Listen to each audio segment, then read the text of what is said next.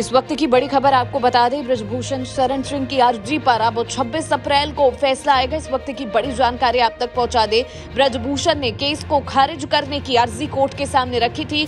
Rouse Avenue court ने फ़िलहाल फैसले को सुरक्षित रख लिया है और 26 अप्रैल को अपना फाइनल फैसला सुनाएगी। आपको बता दें कि ब्रजभूषण शरण सिंह ने आज साफ़ तौर पर कहा कि जिस वक्त आरोप लगा, वो दिल्ली में नहीं थे और साथ ही साथ उनसे टिकट को लेकर जब मीडिया ने सवाल किया तो उन्होंने कहा, हो वही जो राम रचि रखा आपको बता दें कि ब्रजभूषण पर महिला पहलवानों के शोषण के कई सारे आरोप लगे गए हैं। आपको बता दें, भारतीय जनता पार्टी ने उत्तर प्रदेश में ज़्यादातर सीटों पर अपने उम्मीदवार घोषित कर दिए, लेकिन अब तक दो सीटों पर अपने पत्ते नहीं खोले गए। इनमें से एक सीट रायबरेली और दूसरी है कैसरगंज। इस समय कैसरगंज से सांसद है ब्रजभूषण शरण सिंह और वो लगातार इस सीट से दावेदारी भी पेश कर रही है। और ऐसे में जब मीडिया ने उनसे सवाल किया तो उनका पूरा वक्तव्य क्या था? एक बार आपको सुनवाते हैं।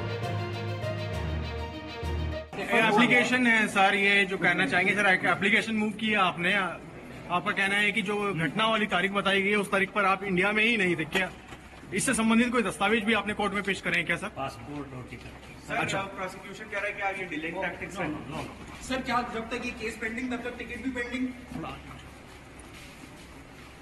सर टिकट का कोई इशारा मिला है सर? पार्टी की तरफ़ से चुनाव आने ही वाले हैं आपके क्षेत्र में तो क्या रहेगा कई सर। तरह की बातें चली कि आपके परिवार से वही है वही जो राम परेशान हो। आप